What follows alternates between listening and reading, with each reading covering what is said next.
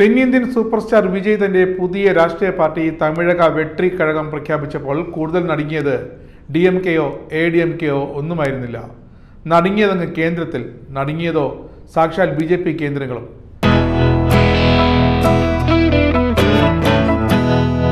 കാരണം തമിഴ്നാട്ടിലേക്ക് എങ്ങനെയെങ്കിലും ഒരു എൻട്രിക്കായി തക്കം നോക്കുന്ന ബി ജെ പിയുടെ ഉറക്കം കെടുത്തുന്ന പ്രവൃത്തികളാണ് സർക്കാർ എന്ന സിനിമ തൊട്ട് വിജയ് ചെയ്തു കൂട്ടുന്നത്. തൊട്ടു പിന്നാലെ വിജയിനൊരു ഉഗ്രം പണിയും കിട്ടി. കേന്ദ്ര സർക്കാർ ഇ ഡി ഇറക്കി വിജയിയെ കാര്യമായിട്ടൊന്ന് വിരട്ടുകയും ചെയ്തു. ഇപ്പോൾ തന്നെ പുതിയ പാർട്ടി പ്രഖ്യാപനത്തോടെ ദ്രാവിഡ മണിയിലേക്കുള്ള ബി ജെ പിയുടെ പടയോട്ടത്തെ ചെറുക്കുവാനൊരു കക്ഷി കൂടി എന്ന സന്ദേശമാണ് വിജയ് നൽകുന്നത്. സർക്കാർ സിനിമയുടെ പ്രൊമോഷൻ പരിപാടിക്കിടെ വിജയ് നേരിട്ടൊരു ചോദ്യം ഇതായിരുന്നു. യഥാർത്ഥ ജീവിതത്തിൽ താങ്കൾ തമിഴ്നാടിന്റെ മുഖ്യമന്ത്രിയായാൽ എന്ത് ചെയ്യും? മറുപടി ഇതായിരുന്നു. ജീവിതത്തിൽ മുഖ്യമന്ത്രിയായാൽ ഞാൻ ഒരിക്കലും മുഖ്യമന്ത്രിയായി ജനങ്ങൾക്ക് മുന്നിൽ നടിക്കില്ല. അതെ ബി ജെ പി കേന്ദ്രങ്ങൾ കേൾക്കുന്ന കനത്ത പ്രഹരം തന്നെയാണ് വിജയുടെ ഈ തീരുമാനം. തന്റെ ജീവന്റെ ജീവനായ വിജയിനെ വിജയിയാക്കിയ അഭിനയമെന്ന ലോകം വിട്ടാണ് രംഗപ്രവേശം.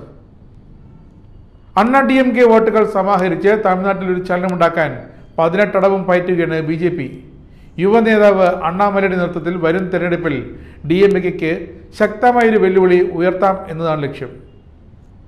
കൃത്യമായ ഇടപെടലുകളിൽ പ്രധാനമന്ത്രി അടക്കമുള്ളവർ തമിഴ്നാട്ടിനെ ഇളക്കി മറിച്ച് ഒരു അനുകൂല സാഹചര്യം ഉണ്ടാക്കിയെടുക്കാനാണ് ബി ജെ പിയുടെ ലക്ഷ്യവും.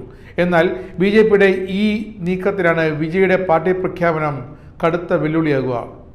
അണ്ണാ ഡി എം കെയിൽ നിന്നും ചിതറിപ്പോയ വോട്ടുകളെല്ലാം വിജയിന് സമാഹരിക്കാനായാൽ ഡി എം കെക്ക് മുഖാമുഖം നിൽക്കുന്ന ഒരു പാർട്ടി വളരാൻ വിജയുടെ തമിഴക വെട്രി കഴകത്തിന് സാധിക്കുമെന്നതിൽ സംശയമില്ല. അത്തരമൊരു എൻട്രി കൃത്യമായി മുന്നിൽ കണ്ടുകൊണ്ട് തന്നെയാണ് വിജയ് തന്റെ പാർട്ടി പ്രഖ്യാപിച്ചിരിക്കുന്നത്. ജയലളിത ബാക്കി വെച്ചുപോയ ആ ഇരിപ്പിടത്തിൽ വിജയ് സ്ഥാനം ഉറപ്പിച്ചാൽ അതൊരു മാസ് എൻട്രിയായി മാറും. വിജയുടെ രാഷ്ട്രീയ പാർട്ടി പ്രഖ്യാപനം തമിഴ് സിനിമാ ലോകത്തെയും രാഷ്ട്രീയ ലോകത്തെയും ഒന്നുപോലെ ഞെട്ടിച്ചു. കരിയറിന്റെ ഏറ്റവും പീക്ക് റെക്കോർഡ് പ്രതിഫലവും ബോക്സ് ഓഫീസ് റെക്കോർഡുകളുമൊക്കെ മാറ്റി എഴുതുന്ന സൂപ്പർ താരം. തന്റെ ആ സേഫ് സോണിൽ നിന്നും പുതിയ മേഖലയിലേക്ക് ചുവടുവെക്കുന്നത് സിനിമാ ലോകത്തെ തെല്ലൊന്നുമല്ല ആശങ്കപ്പെടുത്തുന്നത്. എന്നാൽ വിജയുടെ പാർട്ടി പ്രഖ്യാപനം ആരാധകരൊക്കെ ഫാൻകാരൊക്കെ ആഘോഷമാക്കി മാറ്റുകയാണ്. നിലവിലുള്ള രാഷ്ട്രീയ പാർട്ടികൾക്ക് തമിഴ്നാട്ടിൽ സാധിക്കാത്ത ഒരു മാജിക് അത് വിജയിക്ക് സാധിക്കുമെന്നാണ് അവരുടെ പ്രതീക്ഷ. തെരഞ്ഞെടുപ്പ് ദിവസം വോട്ട് ചെയ്യാൻ സൈക്കിളിൽ സഞ്ചരിച്ച വിജയ് അന്നത്തെ വാർത്താ താരമേ മാറിയിരുന്നു. ഇന്ധന വില വർധനവിനെതിരായ വിജയുടെ പ്രതിഷേധമായി ഈ നീക്കത്തെ വിലയിരുത്തി. അതുതന്നെയാണെന്ന് കേന്ദ്രത്തെ ചൊടിപ്പിച്ചതും ഇ ഡിയെ അഴിച്ചുവിട്ടതും. പോയ വർഷങ്ങളിൽ ഇറങ്ങിയതിന്റെ ബിഗ് ബജറ്റ് മാസ് സിനിമകളിലെല്ലാം കൃത്യമായ പൊളിറ്റിക്കൽ സ്റ്റേറ്റ്മെന്റുകൾ നടത്താൻ വിജയ് പ്രത്യേകം ശ്രദ്ധിച്ചിരുന്നു.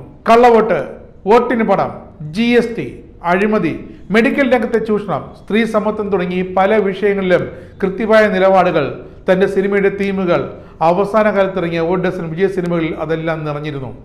മെഴ്സൽ സർക്കാർ തലേവ ബിഗിൽ കത്തി മാസ്റ്റർ ഈ സിനിമകളിലെല്ലാം ഇത്തരം സംഭാഷണ ശകലങ്ങൾ രംഗങ്ങൾ പ്രധാന സംഭവങ്ങളൊക്കെ കാണാം. ഏറെക്കാലമായി രാജ്യം ഭരിക്കുന്നവർ വിജയുടെ ഈ നീക്കങ്ങളെ സസൂക്ഷ്മമായി നിരീക്ഷിച്ചു വരികയായിരുന്നു. അവർക്ക് ആശങ്കയുണ്ടായിരുന്നു വിജയ് എന്തെങ്കിലും ഒന്ന് ചെയ്തു കൂട്ടുമെന്ന്. വിജയ്ക്കെതിരായ എൻഫോഴ്സ്മെന്റ് റെയ്ഡുമെല്ലാം ഇത്തരം രാഷ്ട്രീയ പ്രസ്താവനകൾക്കുള്ള പ്രതികാരമായിരുന്നു. എന്നാൽ തനിക്കെതിരായ ആ പ്രതികാര നീക്കങ്ങളെല്ലാം അതേ നാണയത്തിൽ തന്നെ ചെറുക്കാനും തന്റെ ക്ലീൻ ഇമേജ് നിലനിർത്താനും ഇത്രയും കാലം വിജയിന് സാധിച്ചു.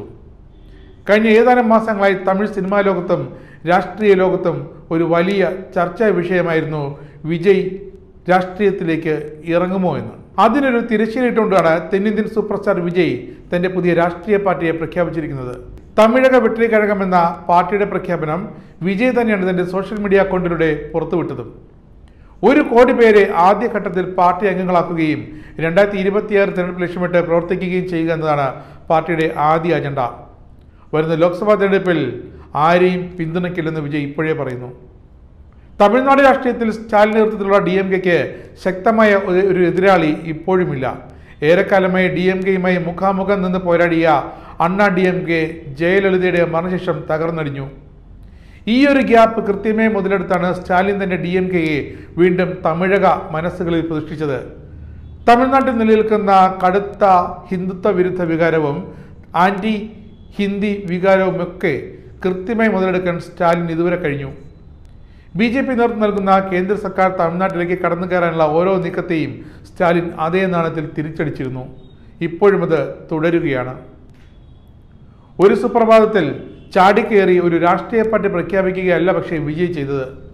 കഴിഞ്ഞ രണ്ട് വർഷത്തോളമായി തന്റെ ഫാൻ സംഘടനകളുടെ സഹായത്തോടെ അതിനുള്ള കൃത്യമായ മുന്നൊരുക്കങ്ങൾ എല്ലാ ചർച്ചകളും നീക്കങ്ങളും പരിപാടികളുമൊക്കെ വിജയ് നടത്തിയിരുന്നു. തമിഴ്നാട്ടിൽ മൊത്തത്തിലുള്ള തന്റെ ഫാൻ സംഘത്തിലെ ഓരോ യൂണിറ്റിനെയും കൃത്യമായി ചലനാത്മകമാക്കാൻ ഉതകുന്ന പരിപാടികൾ വിജയ് സംഘടിപ്പിച്ചിരുന്നു. പുതിയ പാർട്ടിയിലും ഫാൻസുകാർ തന്നെയാകും വിജയന്റെ ജീവനാടി. തമിഴ്നാട്ടിലെ ഓരോ നിയമസഭാ മണ്ഡലത്തിലെയും ഉന്നത വിജയം നേടിയ വിദ്യാർത്ഥികളെ വിജയ് നേരിട്ടെത്തി ഫലകം കൈമാറി അനുമോദിച്ച ചടങ്ങ് പ്രധാനപ്പെട്ട ഒന്നായി അന്ന് ശ്രദ്ധ ആകർഷിച്ചിരുന്നു. അന്നത്തെ പ്രസംഗത്തിൽ വിജയ് വിദ്യാർത്ഥികളോട് പറഞ്ഞത് പണം വാങ്ങി വോട്ട് വിൽക്കരുതെന്ന് വീട്ടിൽ ചെന്ന് മാതാപിതാക്കളോട് പറയണമെന്നാണ്. നിങ്ങൾ വാങ്ങുന്ന പണത്തിന്റെ ഇരട്ടിപ്പണം പണം അഴിമതി നടത്തി രാഷ്ട്രീയ നേതാക്കൾ സമ്പാദിക്കുന്നതെന്ന് തിരിച്ചറിയണം.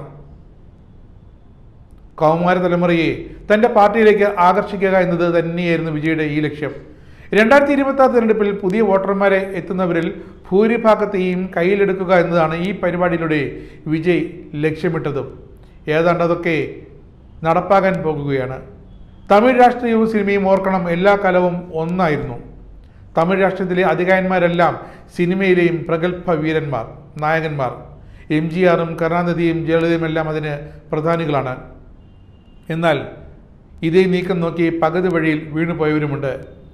അന്തരിച്ച വിജയകാന്ത് കമലഹാസൻ വടിവേലു ഇവരെല്ലാം തമിഴ് രാഷ്ട്രത്തിലെ പരാജയങ്ങളായിരുന്നു. ആരാധകർ അവരെ പിന്തുണച്ചില്ല. അതുകൊണ്ട് തന്നെ കാര്യമായി ഒന്നും ചെയ്യാൻ അവർക്ക് രാഷ്ട്രീയത്തിൽ സാധിക്കാതെയും പോയി. എന്നാൽ ഇളയ ദളപതിയിൽ നിന്നും ദളപതിയിലേക്ക് വളർന്ന വിജയ് തന്റെ പിന്മുറക്കാരുടെ ചരിത്രം കൃത്യമായി പഠിച്ചു. അതിനുശേഷമാണ് വിജയ് രാഷ്ട്രീയത്തിലേക്ക് ഇറങ്ങുന്നത്.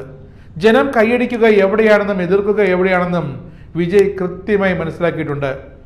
അതുകൊണ്ട് തന്നെയാണ് കൗമാരക്കാരെയും യുവതലമുറയും തന്റെ പാർട്ടിയിലേക്ക് ആകർഷിക്കാനുള്ള നീക്കങ്ങൾ വിജയ് ആദ്യം തന്നെ ഉരുക്കൂട്ടിയതും.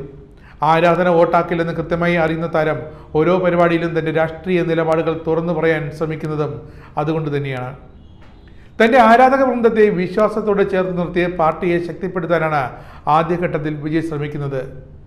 ബി ജെ പിയെ പുറം കൈകൊണ്ട് അകറ്റി നിർത്തി എം കെ സ്റ്റാലിന്റെ ഇരിപ്പിടമല്ല വിജയ് നോട്ടമിട്ടിരിക്കുന്നത്. അത് ജയലളിത ബാക്കി വെച്ചുപോയ ആ ഇരിപ്പിടമാണ്.